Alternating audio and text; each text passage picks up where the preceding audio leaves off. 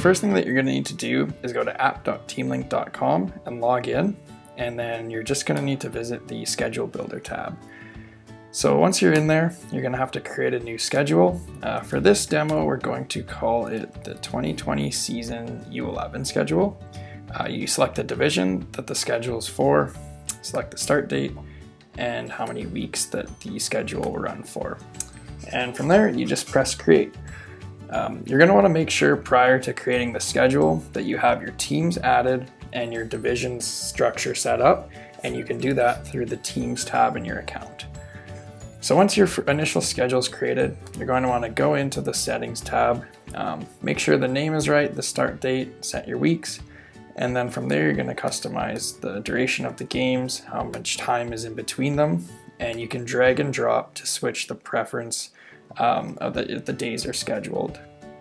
Uh, and then from there, anytime you press that save and rebuild button, it's going to randomize your schedule again and update the schedule based on the properties that you've set. Under the Teams tab, this one's super simple. You just need to select all the teams that need to play within this schedule Typically, our leagues will have one schedule per division.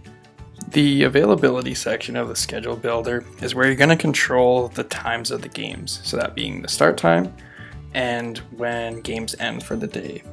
So with that, you can come in here.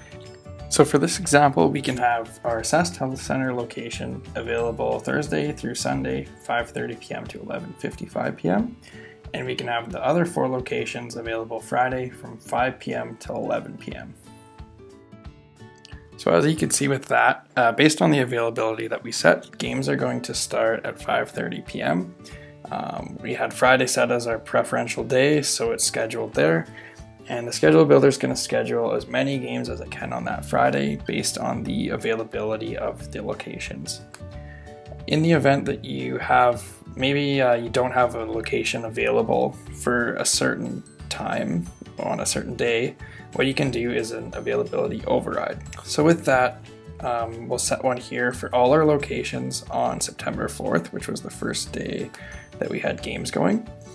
And if we say that we don't have any locations available from 4 p.m. until 7 p.m., um, these games right here should then start at 7 p.m. in the schedule.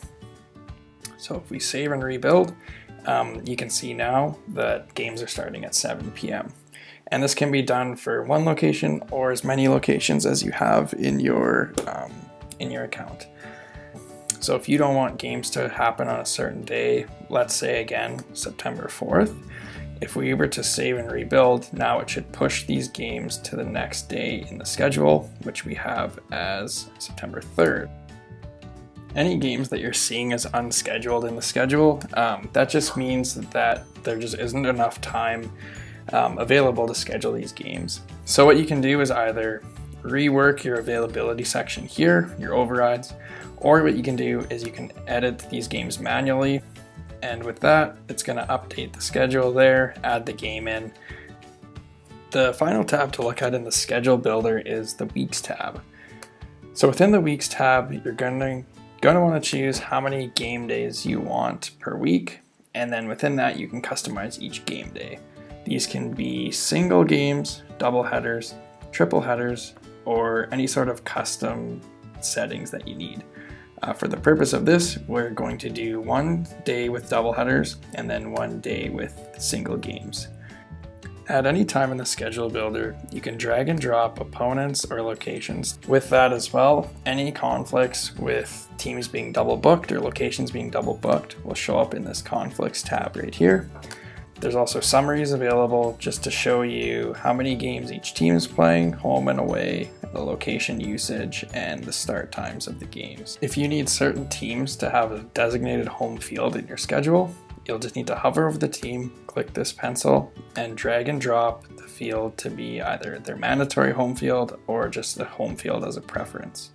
With that as well, you can also add in restrictions, so either teams can't play against other teams or if they're unavailable on certain days or days of the week at any time if you're stuck as well. If you have premium support, you can send us a chat message and we'll get back to you right away. Or you can view our help articles, which are available 24 7 and should outline everything else that you need to know in the schedule builder. Once you're happy with how your schedule looks and you want to publish it and share it, what you can do is click the publish and share button and you can click publish.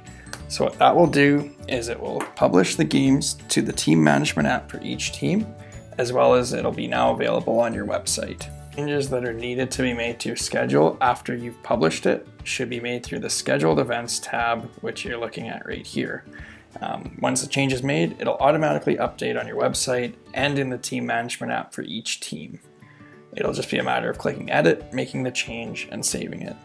Um, once your schedule is built, we also recommend you try out our online registration, our team management app, our website builder, and the communication tools as well.